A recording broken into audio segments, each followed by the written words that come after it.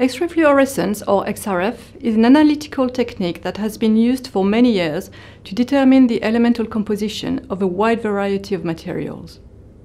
Examples include metal alloys, minerals, and petroleum products. X-rays form part of the electromagnetic spectrum. They are on the high energy side of ultraviolet and are expressed in terms of their energy in kilo-electron volts or wavelength in nanometers. XRF can typically analyze elements from sodium to uranium in concentrations ranging from parts per million to high percents in solids, liquids, and powders. Of course, the elements and concentrations that XRF analyzers can determine depend on the material being tested and the instrument used. How does X-ray fluorescence work? All XRF instruments are designed around two major components an X-ray source, commonly an X-ray tube, and a detector. Primary X-rays are generated by the source and directed at the sample's surface, sometimes passing through a filter to modify the X-ray beam. When the beam hits the atoms in the sample, they react by generating secondary X-rays that are collected and processed by the detector. Now, let's look at what happens to the atoms in the sample during the analysis. A stable atom is made of a nucleus and electrons orbiting it. The electrons are arranged in energy levels or shells, and different energy levels can hold different numbers of electrons. When the high energy primary X-ray collides with an atom, it disturbs its equilibrium.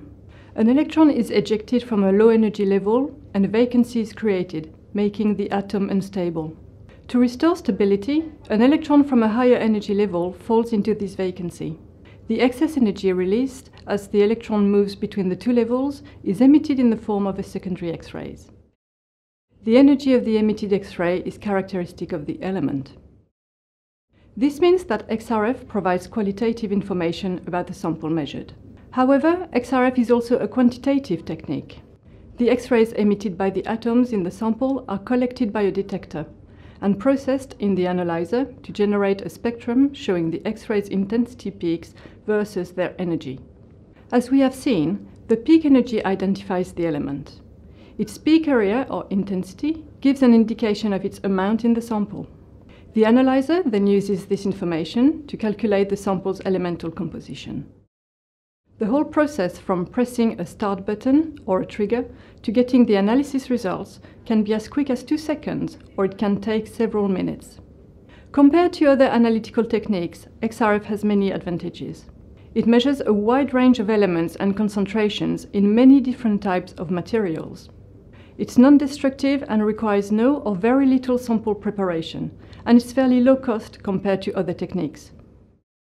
That's why so many people around the world are using XRF on a daily basis to analyze materials.